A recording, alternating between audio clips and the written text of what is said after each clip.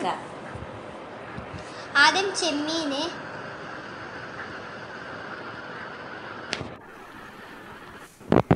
മുളക് പൊടി മഞ്ഞൾപ്പൊടി പെരുംജീരകം ജിൻ- ജിഞ്ചർ ഗാർലിക് പേസ്റ്റ്. മസാലക്കുള്ള സാധനമാണ് രണ്ട് പച്ചമുളക് മൂന്നുള്ളി തക്കാളി. അപ്പോൾ ചെമ്മീൻ നമുക്ക് മാരിനേറ്റ് ചെയ്യാം. അതിലേക്ക് കുറച്ച് ഉപ്പ്. ഇനി നമുക്ക് അടുത്തടുപ്പിൽ ചോറിന് വെള്ളം വെക്കാം. ഉപ്പ് കറാപ്പട്ട ഗ്രാമ്പു ഏലക്കായി. വെള്ളം തെളിച്ച് അരി അതിലേക്ക് ഇടാം.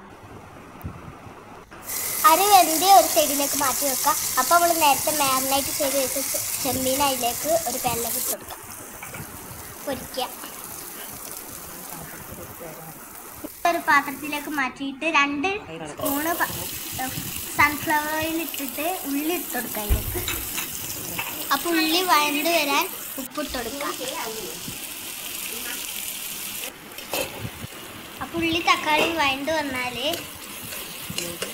അതിലേക്ക് പച്ചമുളക് പച്ചമുളക് ജിഞ്ചർ ഗാർലിക് പേസ്റ്റ്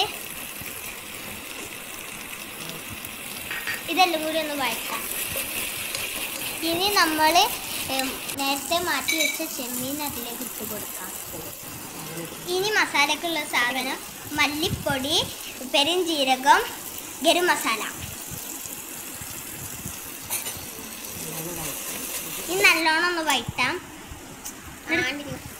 തൈര് ഒരു കപ്പ് ഒഴിച്ചു കൊടുക്കാം. ചെറ ചെറുനാരങ്ങ രണ്ട് സ്പൂണ് ഇതെല്ലാം കൂടി നല്ലോണം വഴറ്റാം. മല്ലിച്ചപ്പിട്ട് അതിന്റെ മുകളിലേക്ക് ചോറിട്ട് കൊടുക്കാം എന്നിട്ട് അത് നമുക്ക് ഡെക്കറേഷൻ ചെയ്യാം. എന്നിട്ട് രണ്ട് സ്പൂൺ നെയ്യ് ഒഴിച്ച് കൊടുക്കാം. ഇതിന് ശേഷം ചട്ടിയിലേക്ക് ഇട്ടിട്ട് ഒരു രണ്ട് മിനിറ്റ് ആവി കൊള്ളിക്കാം. ചട്ടിയിൽ ആവി കൊള്ളിക്കണം മിസ്സായി പോയതാണ്. സോറി അപ്പൊ എനിക്ക് ഇഷ്ടപ്പെട്ട ഫ്രൗൺസ്